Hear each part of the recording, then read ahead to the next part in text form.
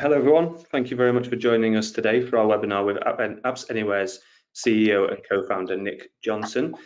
Today we'll be presenting our findings, showcasing insights and sharing perspective on what the future holds for higher ed IT. We're just going to give it a brief minute to give everyone a chance to join before we start, so if you'd like to grab a drink and get comfy, please feel free.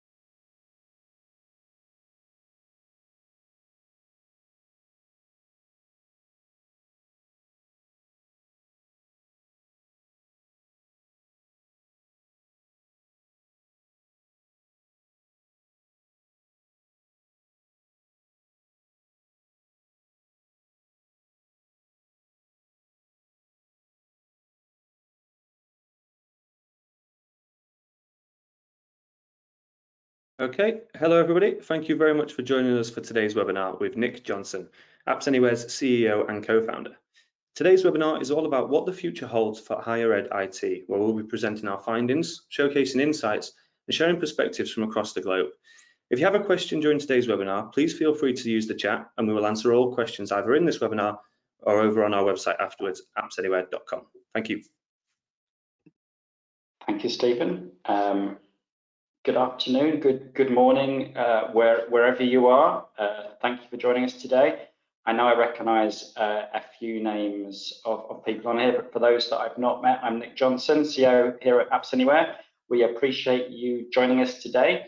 Um, historically, we've been quite reserved in giving our opinion and, and sharing thoughts.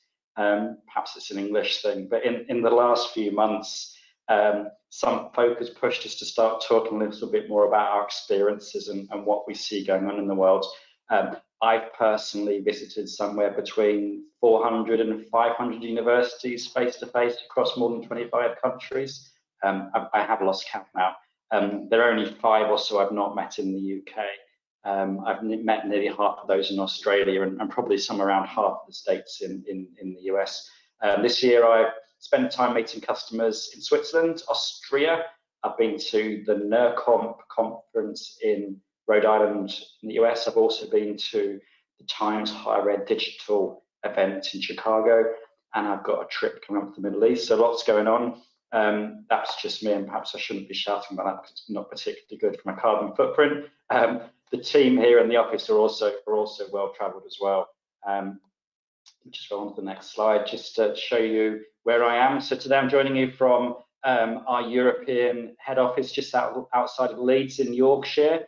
Um, the Foresters Arms is our office. It's a former pub. We've converted into our offices. And for those that are wondering, yes, we still do have the bar and it's great for, for company socials and bringing our customers here. Um, just some further housekeeping. Obviously, we put people on mute just because there's people, too many people here to chat and, and just to say we are recording the session as well. Um, as Stephen said, feel free to ask questions as we go and we'll try and cover them off. And also I've been told to mention that as part of the promotion of this, we did say we'd be giving away some rather cool Legos. So we will make contact with the winner for that afterwards by email. Um, so about us, I think obviously we are we are very niche in what we do, application delivery and education. Nearly all higher ed, but we are starting to see um, more conversations happen with, with, with further education. During, during COVID, we saw a huge shift in dynamics and some of what we um, intend to explore, explore today. Um, so alongside our stories and recounting some of the conversations we've had with people in person, we're gonna, we've started conducting some market research ourselves, the results of which we're going to share today are exclusively from those working in higher education.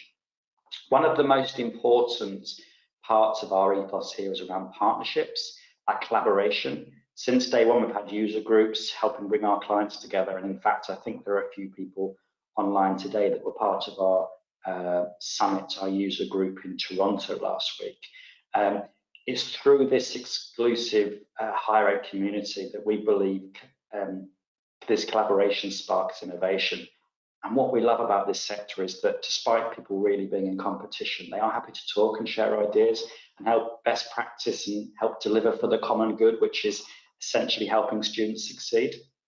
So going forward, um, every quarter at least, we, we, we're going to continue to conduct these uh, trend surveys to understand uh, what is going on, what people's priorities are, um, the focus, the challenges, opportunities, and how we can collectively learn from each other to adapt, to evolve and improve. And we're excited today to share with you the first set of, of our results. So these are the questions that we'll be looking at. Uh, a big part of today's focus is around learning styles and locations. We saw that COVID forced a huge shift. It wasn't op optional, it was a necessity to adapt to help um, students learning. Universities were incredibly, uh, were incredible at flipping their delivery to ensure that students could keep learning. Universities are incredibly innovative, and we often shout about that because we don't think enough people do. Um, institutions are often early adopters, something that I don't think people outside of higher ed actually probably appreciate. Um, Post-COVID, what we see today is actually the models probably flipped has also changed some expectations of students. It obviously depends on, on, the, on the subject, but there could be individual activities where a student can work in isolation at home. Um, therefore, why do we need to continue to come onto campus? universities need to deliver to their customers what they want. So our first area of conversation is around where is the learning? Is it online, in person, or a mix of everything? Um, repurposing, campus, repurposing campus labs. For a long time, I've seen the trend of labs evolving. Firstly, from not necessarily needing spaces dedicated to a given subject, and it's, it's normally engineering, um, I think our record is we've seen lessons being scheduled for 10 p.m. at night. Then other times you have academics booking out um, rooms for students to access the computers to study. And whilst at the same time we've got open access areas, say the library, which isn't fully utilised, that's not great efficient use of that space. So we saw that the shift of, of we've seen the shift of software following the students and reutilisation of, of the lab space. Um, the second wave we now see is students do want to use their personal devices. So the question is, do we need to replace all 50 of these machines in a, in a lab refresh? Could we just replace 25 and actually um, re reuse the space a bit differently, put some more monitors or perhaps make part of the room a collaboration space, etc. The next question is then around uh, rethinking the IT menu. It's an interesting one. Um, our take is on what's, what is what is what is IT going for? What does IT need to deliver to the students to ensure success? Um, what do students want to enrich their studies and help graduation rates? Uh, sustainable higher ed, we had an office debate about this one. So what is sustainable? Originally, I took it as sort of the green IT environmental benefits, but actually where we're coming from here is around sustainable projects that can continue for some, some time. It is what students want going forward. And last but not least, one of my favorite subjects, IT centralization, again, a huge topic of debate in our, in our offices. So depending on your location, you'll likely have a different view on this. Um, there are only about four or five universities in the UK which are not centralized.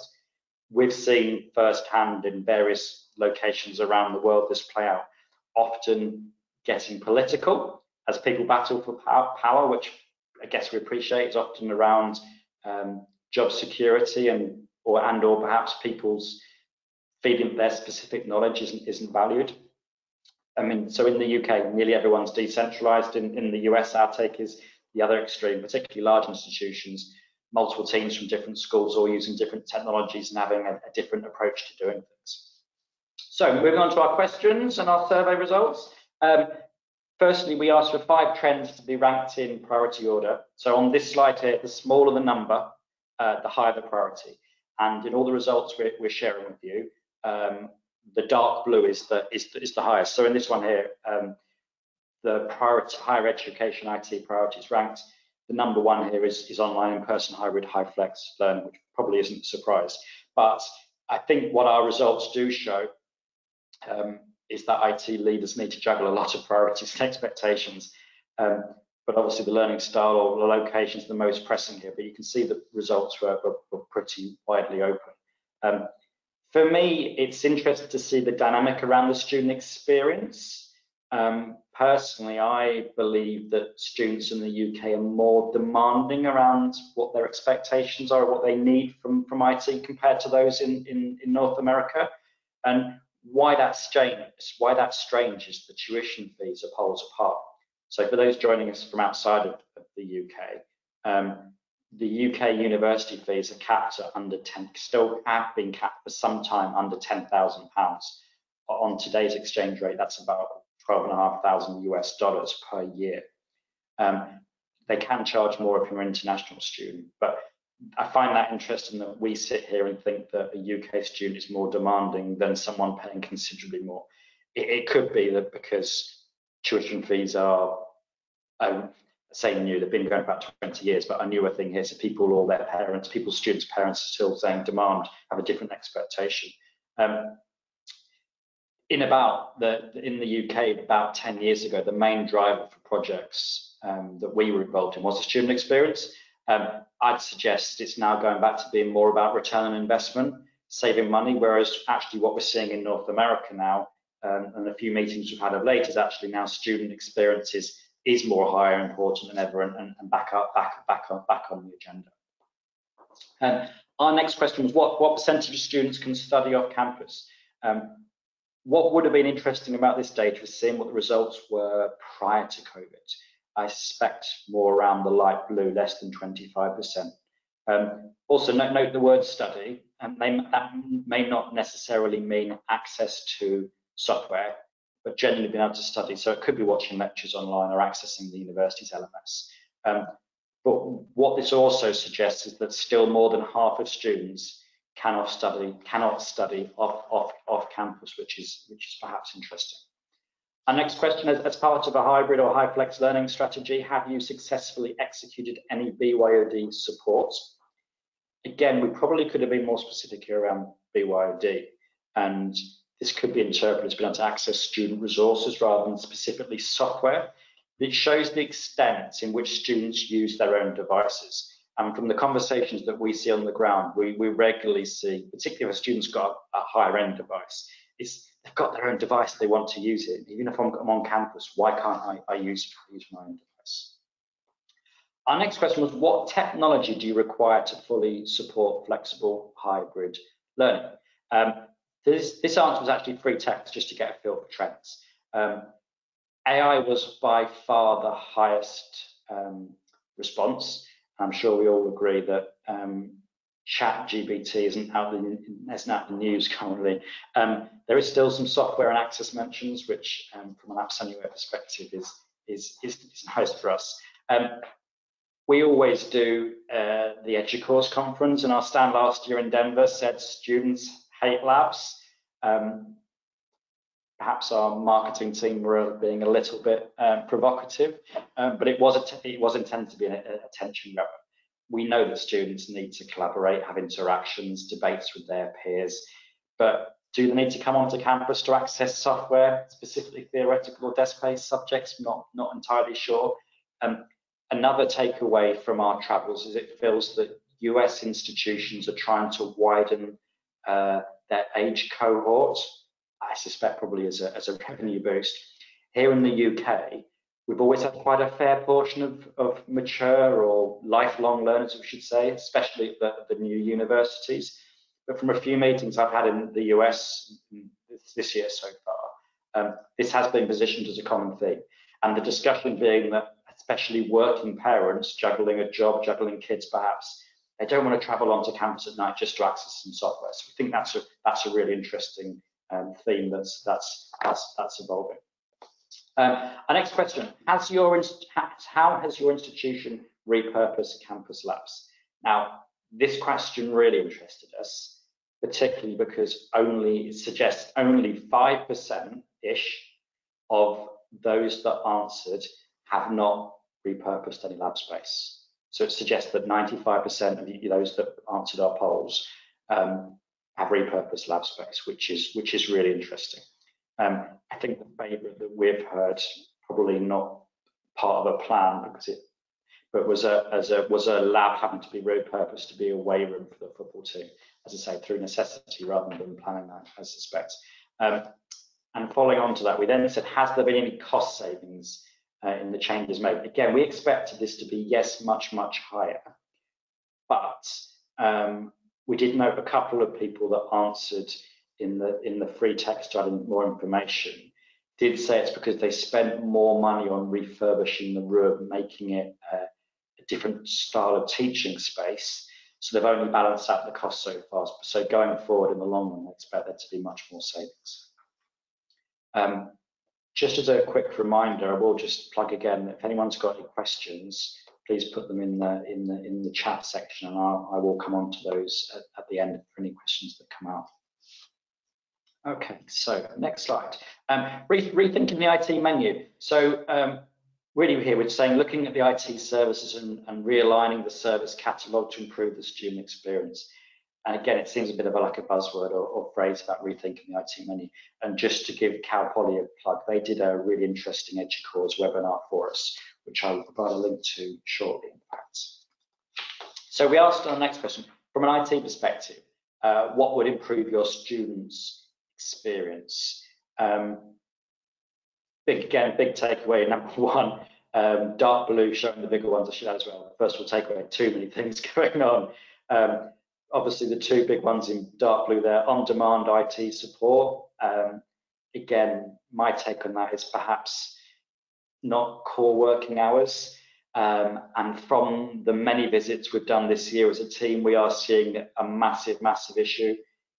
I'm not saying it's not an issue elsewhere, but particularly in North America is, is resources and being massively down on headcount. 50% is, is quite common with from our visits. Therefore, you need to focus on your priorities. So we would be arguing focus on the student-facing activities. Um, and then the bottom point is interesting.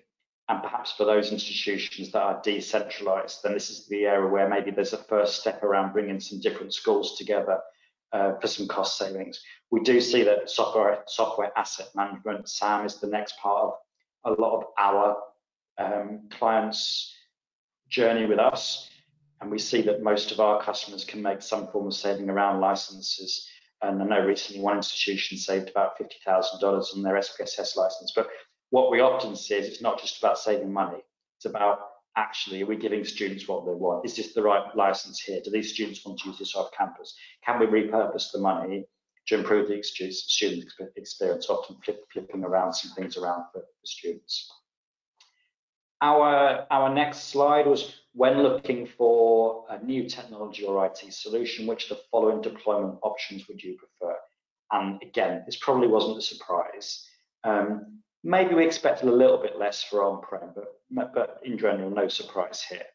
Um, what we've seen this year as a business is that we launched a hosted offering at the back end of last year. Every single customer that we've won this year has gone for that option and actually lots of um, our existing customers have, have, requested to move that option.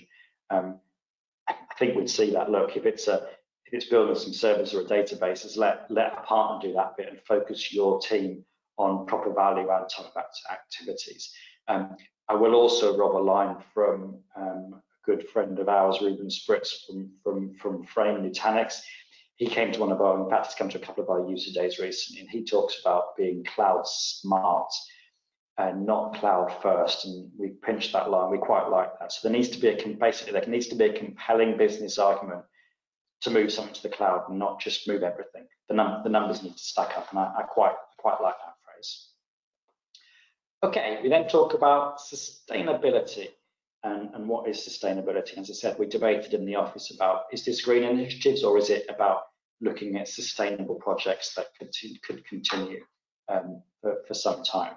Um, so the question we put to, to people next on this one is, are you looking to solve any of the IT, these IT challenges in, in the future? And again, you can see here quite widely spread, but dark blue, um, continuing support for online learning initiatives. Again, we obviously see that on the online initiatives are big now and delivering a better IT service to students, but again, quite quite um, close those those ones in comparisons. IT centralization, probably my favorite subject actually. Um, so as I said, there's only about four or five institutions in the UK that are still majority decentralized. one of them, which should remain nameless, um, we've seen they even have to have a facilitator in the room when faculty IT are talking to central IT. Um, we, we see them burning cash. Equally, from a, I don't like the word vendor, but it, it, from a vendor slash partner perspective, it's interesting in North America, the US especially, where we engage with the universities. There's some that are small enough to have central IT, and in general, those are quicker projects to get going versus versus the likes of a, of a Michigan or a Utah, where it can take a long, long time to engage with different teams and, and bring about that change of things. Um, so with that in mind, our next question was, do you think centralizing IT is a good idea? And we were blown away with these responses here. Um, just surprisingly high on that centralizing IT was a good idea, and surprised because we see we see the battles around um, power and politics when decentralization does start. So very very interesting that one. Um, and then digging into that a little bit further, do you plan on centralizing your IT in the future?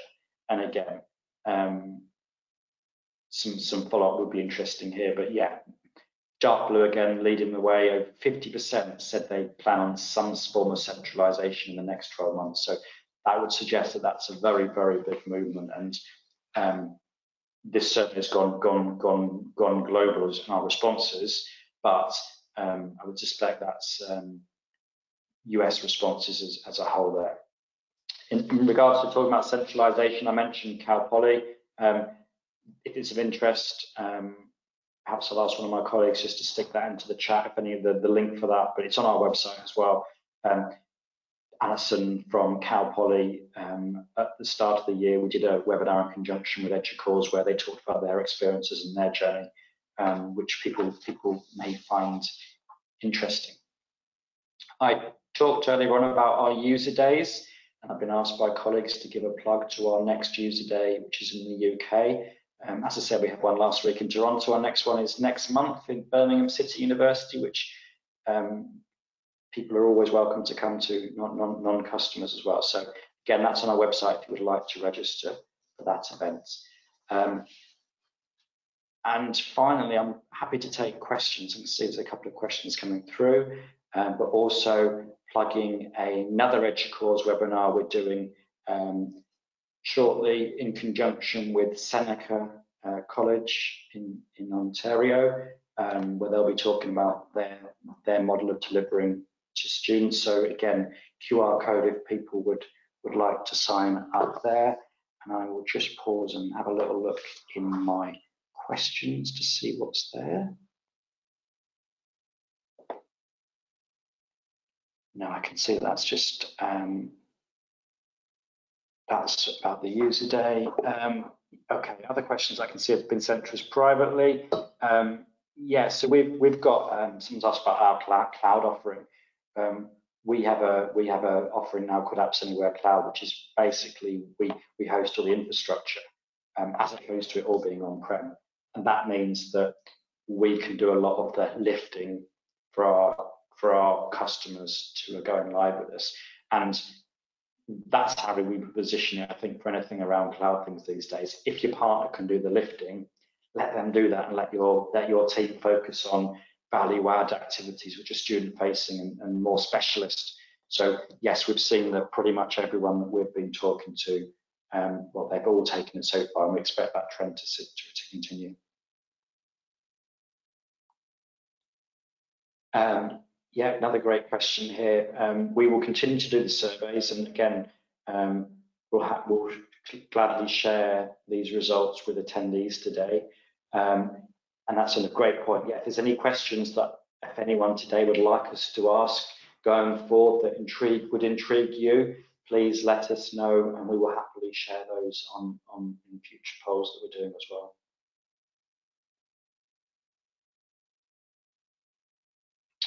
Okay, so yeah, that's an interesting question. Someone's asked, how are universities in England repurposing campus labs? Is it different from the US and other areas? I would probably say not, not really. I guess the the challenge is that often the UK universities are already centralised, so the space maybe not aligned to a specific school, so it's probably easier for them to repurpose that to something else. Whereas I suspect in North America, if if if it's at School of Medicine, School of Science, that's their room. If that's going to be repurposed, they want it for their students and not as a general space. So maybe maybe people aren't quite as as keen on on the repurposing, but um, I think it's still the same message everywhere, and that's what we find fascinating. People often say to us, "Well, why do you work in higher ed?" And we say, "Well, look, wherever we are in the world, we don't generally change a presentation. People are still talking about SPSS, MATLAB, SolidWorks, ArcGIS. It's the same bits of software that cause people problems all around the world. Um, so I, I, probably don't think there is much difference between universities in the UK and the rest of the world on the repurposing side of things. Um, uh, yeah, that's a good question as well. Someone's asked about um, apps anywhere and centralizing IT. Yeah, we find this fact really interesting, and I, I they shall remain nameless because we're at contracts. Um, in uh, um, in the North America, there's three universities that are, are merging, or university merging with two colleges. And one of the challenges they have that they face is lots of different types of technologies in different institutions. And they're taking Apps Anywhere as the central piece, central platform to connect these different technologies across the different sites. Obviously, a student doesn't care about how they're getting software. They just want to press go and it'll be delivered to them. Um, so the context here is that's Apps Anywhere will be dropped in at the top, plugging into all different technologies from, from those campuses. Behind the scenes, if over time they want to change them, evolve to new technologies, that's absolutely fine. The student doesn't know. The student probably doesn't care, but gives you that ability to change things behind the scenes and single click access to software. Um, people also expecting me to have a crystal ball here. Do you see universities moving entirely online in the future? Um, no, I don't think so. Um, I actually, one of my good friends, his son chose to go to a university that wasn't going to be 100, well, 50 60% online. He went to somewhere it was to be face to face. He was doing a subject, it was less theoretical and desperate to need to be hands on.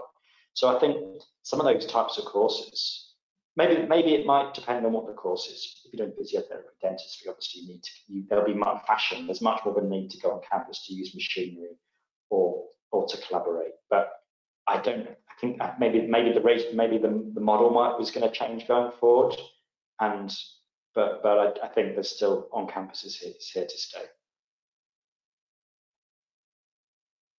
I think that's it. After I've had a few questions thrown at me, but um, we didn't intend to go on for too long. and I'm conscious that people are very busy these days. So perhaps that just leaves me to say thank you very much for joining us today. And thank you for those great questions. I hope you found our, our feedback and our surveys of interest feel free to, to message myself and the team with any, any feedback or comments or questions for next time. Uh, and again, thank you for, for taking the time to listen to us today. And we hope to see you all in person very soon. Thank you very much, everyone. Take care.